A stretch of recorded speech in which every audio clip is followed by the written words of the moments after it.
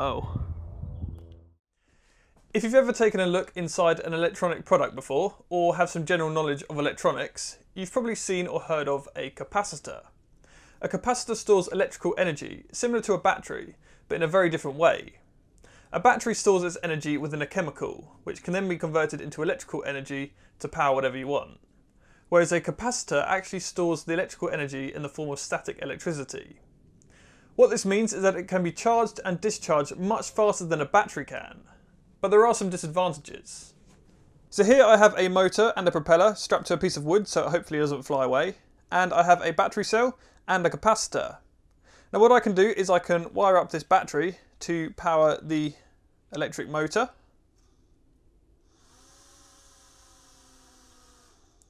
And I should also be able to use the capacitor to output its electrical energy to power the motor. Oh. That's a, that's a capacitor fully discharged. So from that quick test, you can tell that a capacitor has far less energy density than a battery. And this is where supercapacitors come in. A supercapacitor works in a similar way to a regular capacitor, but it's a bit more advanced and can store far more energy. Not quite as much as a battery, but it can be charged and discharged pretty quickly. So how about we wire this up to the motor?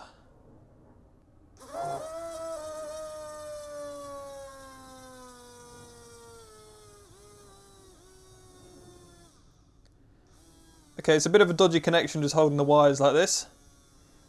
But that should give you a pretty good idea that supercapacitors have far more energy density than regular capacitors.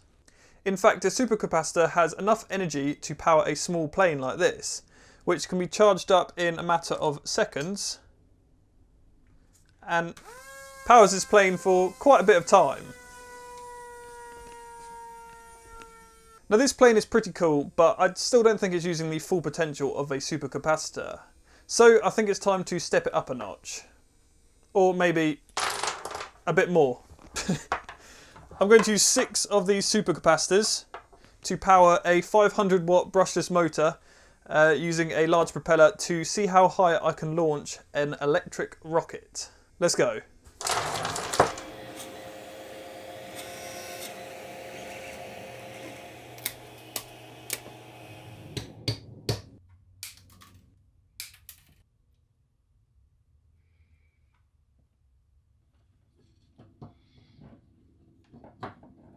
Right, so before I shorten the wires and make everything a bit neater, I just want to give it a quick run just to check whether, uh, first of all, nothing is wired up wrong, and also that the supercapacitors can power the motor.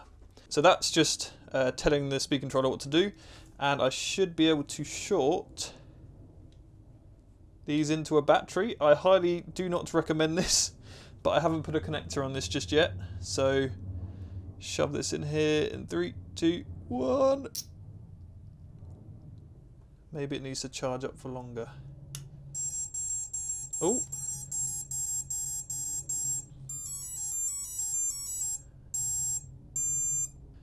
I haven't got anything plugged into the battery right now.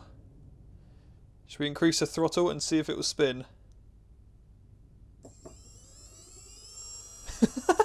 it's working! There's, there's nothing charging up the capacitors. So that motor is running 100% off of these supercapacitors. Oh, that is so cool. Look, battery fully disconnected. There's a very small battery here to power the servo tester, but it's not applying any power to the system. So what will also be interesting is when the motor cuts out, what's the lowest voltage?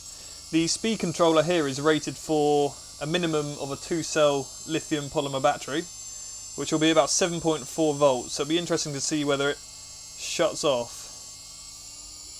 Turn the speed up a little bit. And I guess we'll just wait for the uh, supercapacitors to run out.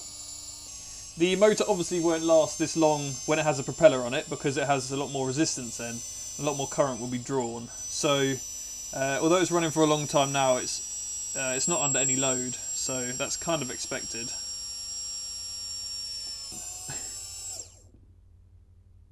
Okay, that seems like it is dead.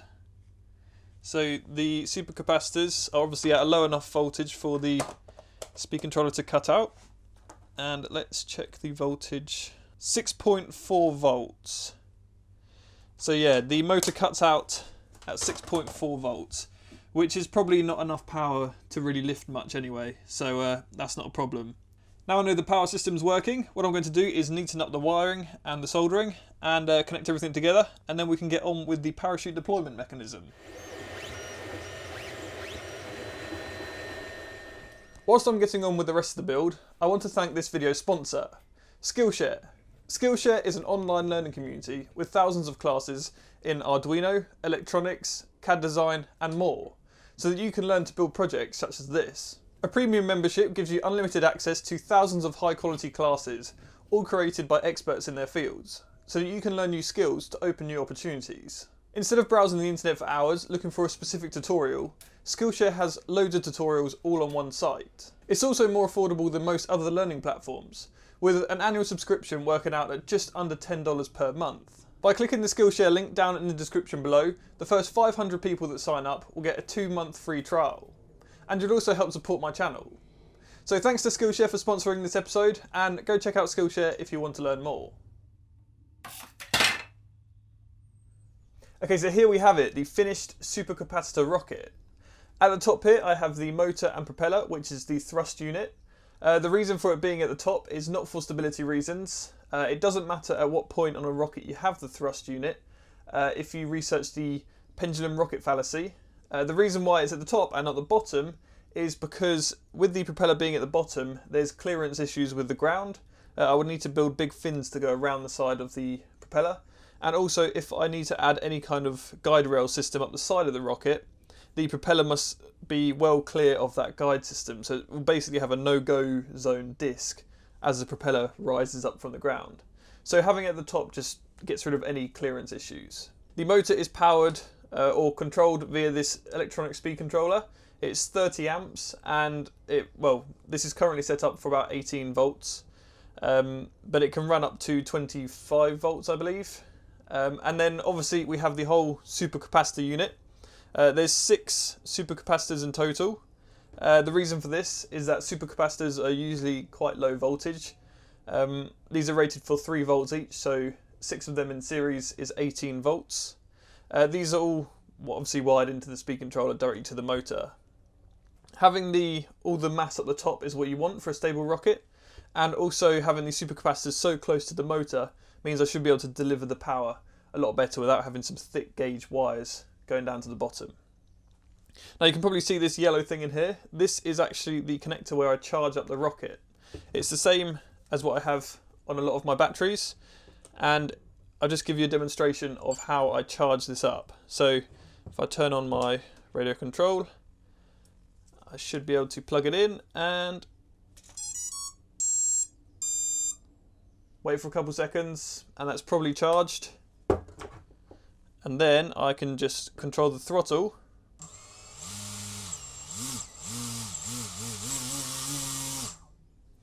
So that's what's cool about having these supercapacitors is I can fully charge the rocket in a matter of seconds.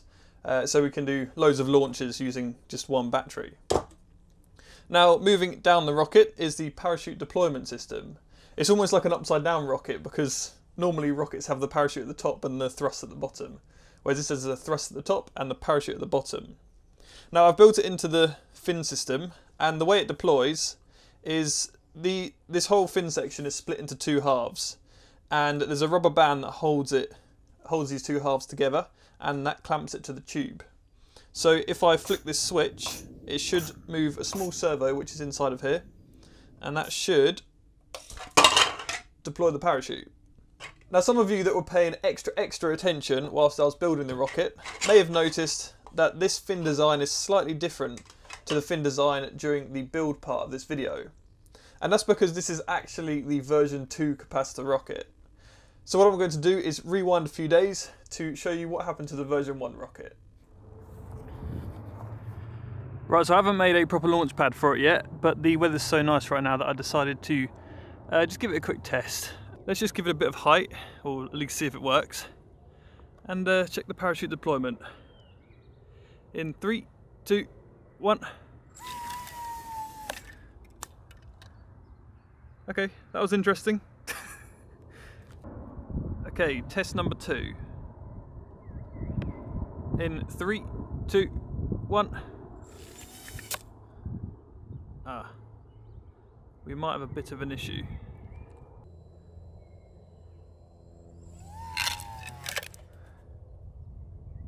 Oh.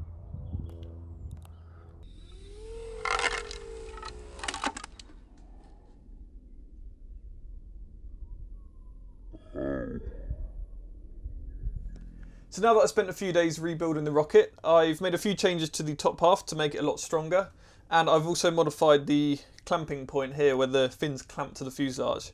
So hopefully they'll be a lot more rigid in flight and be able to stabilise the rocket enough to not explode. Uh, they also don't twist anymore, um, so yeah, how about we go take it for a test flight to see if this thing will actually fly. Let's go. Right, so here we go. I've got a small plank of wood as the launch pad.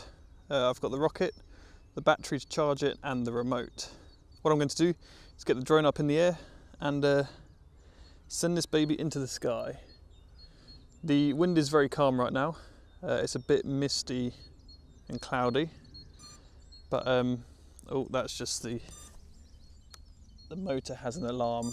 So after 10 minutes, if I lose the rocket, it beeps.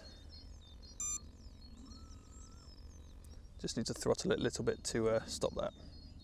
Right, let's get the drone in the air.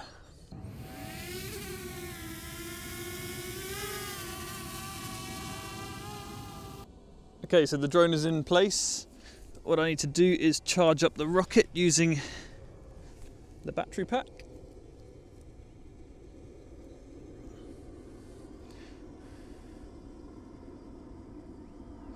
That should be charged up enough.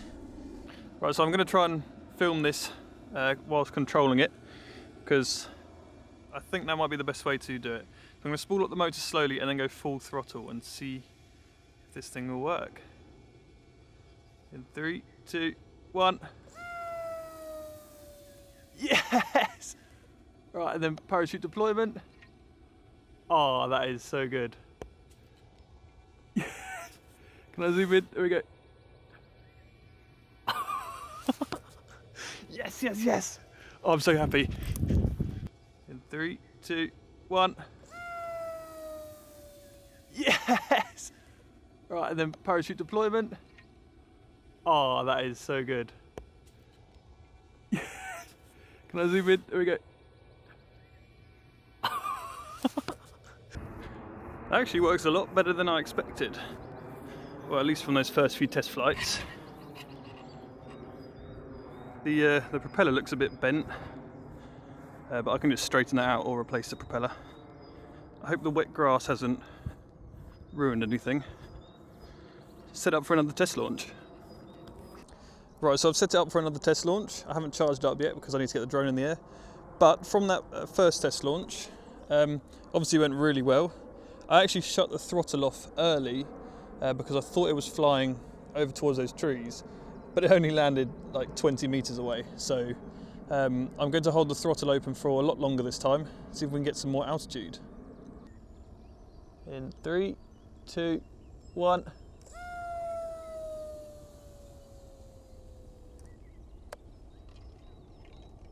Oh yes.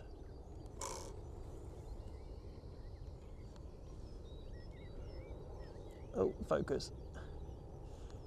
This seems pretty reliable now. So I still shut the throttle off a bit early on that flight.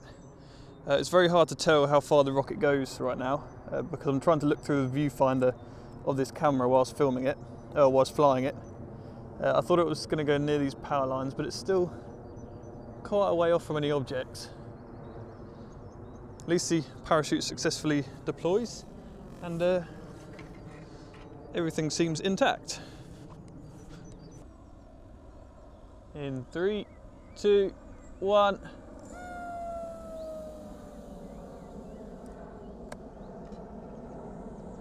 Oh no, no, deploy, deploy, deploy. Oh, that was so close. That was so close. So it's very easy to rush the parachute packing whilst I'm out here in the field. Um, but I think I'm going to take a bit more care next time because that was a very close call. Oh. Don't know why it's doing that. Maybe the speed controller has some water in it.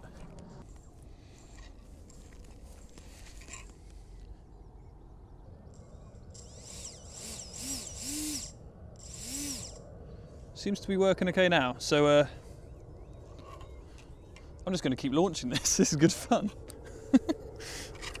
In three, two, one.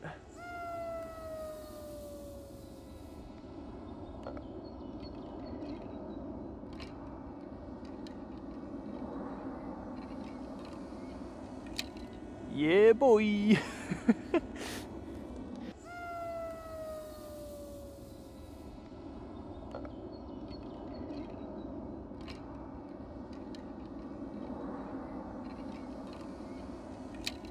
In three, two, one.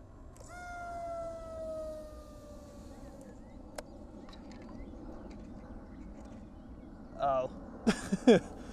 um, right, the parachute didn't come out on that one. Uh, I think I probably just stated the most obvious thing. right, let's go see what happened to the rocket. Hopefully it's not broken, um, because I'll need to do some repairs. uh, my feet my shoes and my socks are soaking wet, so I think it's time to head in anyway.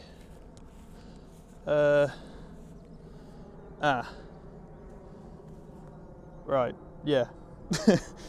seems to have exploded the fins, which is annoying because I've ran out of blue filament. Right, I think we got a few good successful launches out of that though, so uh, let's head in and sum up this project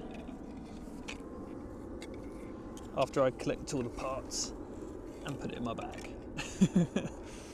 so there we have it, the supercapacitor powered rocket. I'm really pleased with the way it flew in the end, uh, especially after those first few version test flights, more like explosions. Uh, the parachute deployment worked most of the time, uh, apart from obviously the last time. Uh, I'm not sure how high the rocket went, but uh, on one of the flights I parked the drone at about 80 metres high, and this was just below it, maybe 60 metres high. Uh, so just under 200 feet, I reckon. I've learned a whole lot about supercapacitors whilst doing this project. I knew what an electrolytic, electrolytic capacitor was uh, from everyday electronic components, uh, but I had no idea the capabilities of supercapacitors. Uh, I've heard about them, uh, but I always thought they were like a thing of the future that you hear with fast charging electric cars. So to actually be able to use them in something like this was was really good actually. It was really good fun to learn about. Uh, I'd like to thank you very much for watching and if you enjoyed this video please leave a thumbs up. If you're new to my channel please click subscribe down below and a huge huge thanks to all of my patrons for being uh, supportive uh, throughout this time of building these projects. Uh, it's been quite, a, I think it's been about three weeks since my last project, um, mainly due to explosions of this and uh, learning about this, well, these capacitors. So thanks very much to all my patrons for making these videos possible, and I will see you in the next video. Goodbye. Oh, it's cold.